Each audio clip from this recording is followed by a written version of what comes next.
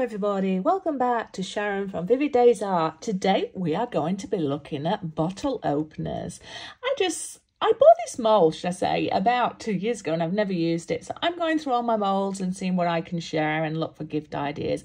I am going to work with some yummy colours and these are colours that I used within my phone stand as well.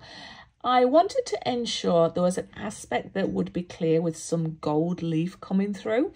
Uh, and I wanted some to have the black and gold and for some to have the red and amber.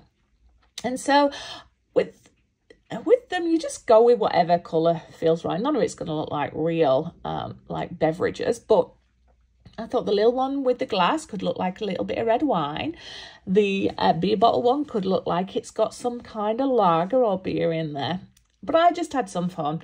I made sure that um, I worked slowly. I made sure that uh, the resin, uh, most of the bubbles had already risen. I really like currently adding the gold next to the clear with gold leaf and then adding the colours and you get some nice little effects that come through there.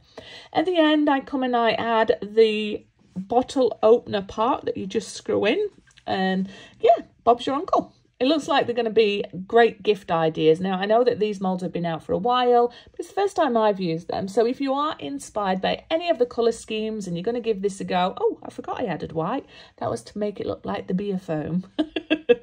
uh, but if you are inspired, uh, let me know what you create with them. And if you've got some artwork or videos that you want to share with the community, either join my Facebook group or put your video in your comments so somebody can go over and check it out.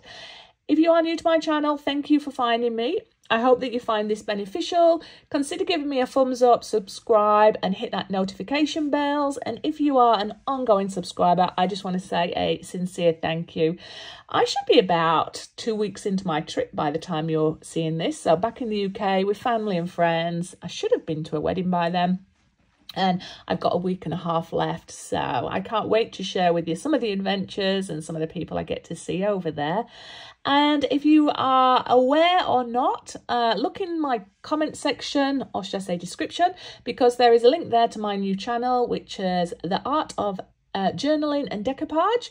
Uh, I'm going to be putting a video out there once a week and I will be creating a, a Dare to Learn art channel which is for people who want to learn brush strokes and gain some muscle memory and um, increase your confidence, skill level, or just learn to relax and create something that is good for you.